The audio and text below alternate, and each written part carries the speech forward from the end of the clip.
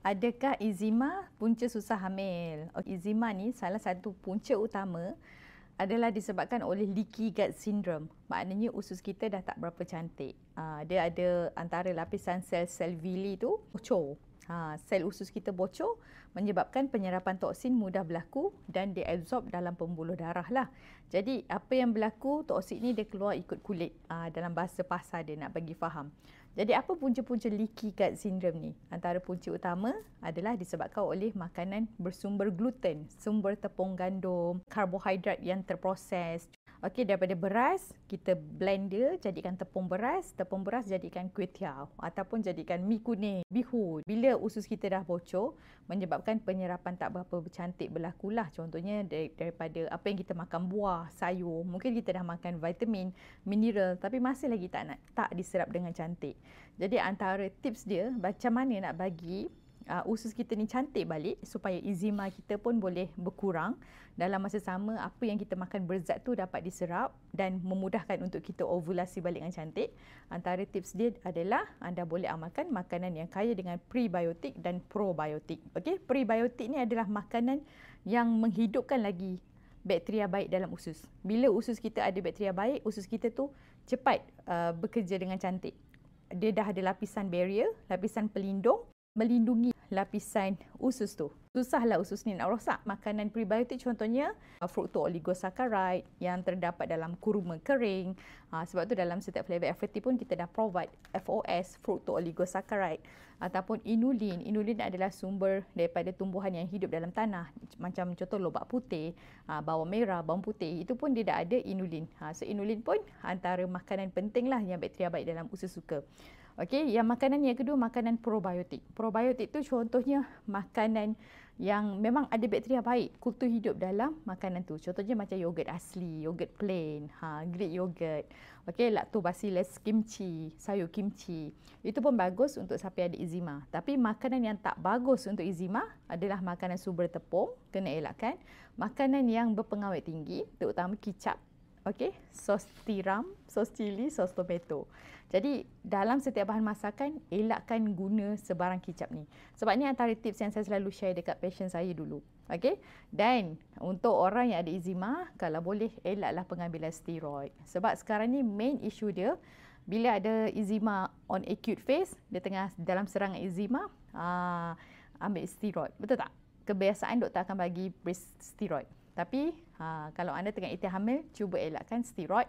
Kalau krim pun janganlah pakai steroid. Ha, sebab dia boleh masuk dalam darah.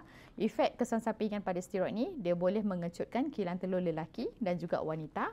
Dan efek dia ada kes yang menyebabkan uh, unovulatory memang sepanjang dia ambil steroid tu telur wanita tu tak berovulasi langsung. Nak tahu berovulasi ke tidak, tengok pada kuantiti darah haid dia. Darah haid dia dah jadi sikit, mungkin hari pertama je banyak, hari kedua, ketiga dah kering. Kita haid dia dah jadi delay, lambat. Uh, test UPT negatif, tak lama lepas tu turun haid. Tapi haid pula macam tak berapa lawas. Ha, tu maknanya anda tak bertelur cantik. Ha, efek daripada kesan steroid ni lah. Okey, untuk lelaki pun sama. Ha, ada kes yang pengambilan steroid yang tak terkawal menyebabkan uh, tengok-tengok sperm count dia zero, azoospermum. Okey. So, tu itu adalah ubatan. Tapi macam mana nak buat kalau tengah acute phase eczema? Biasa untuk patient saya saya akan advise dia daripada segi first makanan tadi macam mana prebiotik, probiotik plus stop makanan yang kena eczema. Yang seterusnya saya akan prescribe juga tambahan lah prebiotik dan probiotik dan saya prescribe dia jenis proenzyme, ha, prolis. Prolis ni adalah proleolytic yang dapat daripada betik. So sebenarnya buah betik pun buah yang sangat bagus untuk usus. Okey, jadi siapa yang eczema boleh lebihkan makan buah betik. Bukan betik muda lah, betik yang dah masak. Ha, so kita nak prolis daripada betik ni. Ha, sebenarnya ada ubat yang nama daripada prolis ni. Ha, biasa doktor bagi ubat ni untuk uh, usurkan bengkak. Ha, nama lain ubat ni papis lah ataupun B-enzyme. Dia adalah sejenis enzim yang terdapat dalam betik, okey. Yang mana fokus dia membantu untuk uh, penghadaman starch ataupun penghadaman protein. Penghadaman protein yang uh, high protein, contohnya macam daging, kambing kan. Kalau kita tengah acute attack eczema tu janganlah makan yang protein yang tinggi macam tu. Uh, sebab usus anda struggle nak penghadaman tu. Ha, so prolis tu sedikit sebanyak dia bantulah penghadaman daging tu. Antara sebab kenapa Uh, eczema sukar hamil antara faktor dia sebab malnutrisi, kekurangan zat, sebab usus pun tak cantik dan sebab bila usus tak cantik, zat tak, tak dapat nak serap dengan cantik, jadi thyroid anda pun sedikit sebanyak dia lesu lah. Jadi uh, ada banyak. Dia boleh jadi suboptimal hypothyroidism symptom, dia boleh menyebabkan adrenal anda pun fatigue, uh, kelesuan pada kelenjar adrenal. Jadi dia efek pada hormon seksual juga sedikit sebanyak. Okay, so hopefully membantu. Uh, Okey, kalau nak berikan dengan susu, anda boleh je try yang mana-mana. Coklat, strawberry, madu kurma. Setiap flavor ni formula sama. Okey, kalau untuk skin lebih sikit, saya selalu sarankan yang cuba flavor strawberry. Ha, ini coklat. Uh, strawberry dengan madu kuma semua sama je. Formulasi multivitamin multimineral semua sama. Prebiotik sama. Cuma kalau ekstrak strawberry tu sendiri kita tahu buah strawberry tu sendiri kaya dengan vitamin C dan vitamin B6 so vitamin C sedikit sebanyak bantulah untuk kita punya skin juga. Ha, skin texture penghasilan kolagen kulit alright ha, dan setiap flavor variety memang kita dah provide prebiotik ha, so mudah je minum sekali sehari sebelum sarapan pagi kenapa eczema because yang ada irritable bowel syndrome ke siapa-siapa yang ada masalah usus sesuai dengan susu FRT. Sebab susu FRT susu kambing. Kita bukan susu lembu. Susu kambing uh, tidak menyebabkan keradangan pada usus.